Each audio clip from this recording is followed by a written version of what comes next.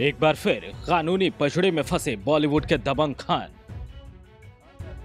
पत्रकार के साथ बदसलूकी, सलमान को पड़ी महँगी। फिर से कोर्ट कचहरी के फेरे में पड़े सलमान खान। लगता है सलमान खान का कोर्ट कचहरी का चक्कर कभी खत्म नहीं होने वाला। आए दिन किसी न किसी कानूनी विवाद में फंसते रहते हैं। कंट्रोवर्सीज तो सलमान के बस आगे पीछे घूमते रहते हैं। इसी वजह से विवादों का सुल्तान भी उन्हें कहा जाता है। उनके काले हिरण मामले से तो दुनिया वाकिफ है। वहीं अब एक बार फिर सलमान कानूनी पचड़े में पड़ गए हैं। हाँ वो बात अलग है कि सलमान का ये विवाद नया नहीं, बल्कि पुराना है। कुछ साल पहले सलमान ने एक पत्रकार से बदसलूकी की थी, जिस पर अब कोर्ट ने एक्शन लेते हुए एक्टर को समन जारी किया है। रिपोर्ट्स के मुताबिक सलमान खान को मुंबई की अंधेरी मजिस्ट्रेट कोर्ट में 5 अप्रैल को पेश होना है। जानकारी के मुताबिक कोर्ट ने एक्टर को आईपीसी की धारा 504 और 506 के तहत अपराध के लिए तलब किया है।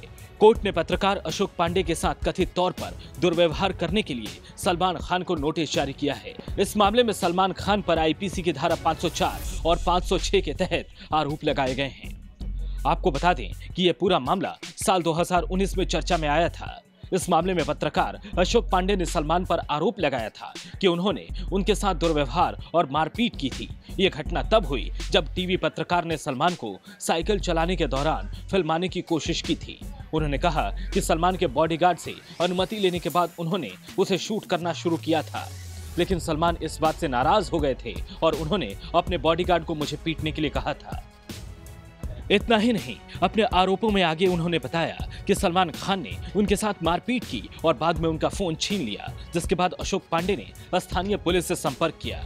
पत्रकार अशोक पांडे ने अपनी शिकायत में सलमान खान और उनके बॉडीगार्ड नवाज़ शेख के खिलाफ आपराधिक कार्रवाई करने की मांग की थी।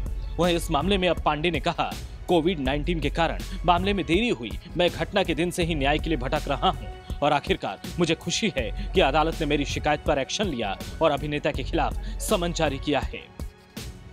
अदालत के आदेश के मुताबिक इस मामले के सबूत और पुलिस की जाँच रिपोर्ट के आधार पर आरोपियों के खिलाफ कार्रवाई के लिए काफ़ी है। समन जारी होने के बाद दर्ज शिकायत पर महानगर या न्यायिक मजिस्ट्रेट के समक्ष आपराधिक कार्यवाही की शुरुआत है। अदालत ने कहा कि एक बार प्रक्रिया होने के बाद आरोपी व्यक्तियों को अदालत के सामने पेश होना पड़ता है। वैसे आपको बता दें कि सलमान खान के विवादों की लिस्ट बहुत लंबी है। कई सालों से उनका नाम विवादों में आता रहता है। इससे पहले सलमान का नाम काले हिरण शिकार मामले, हिट एंड रन मामले, ऐश्वर्या राय के साथ मारपीट का मामला में भी जुड़ चुका है। वहीं पनवेल में बुज़ुर्ग पड़ोसी के साथ भी उनका कानूनी झगड़ा चल रहा है।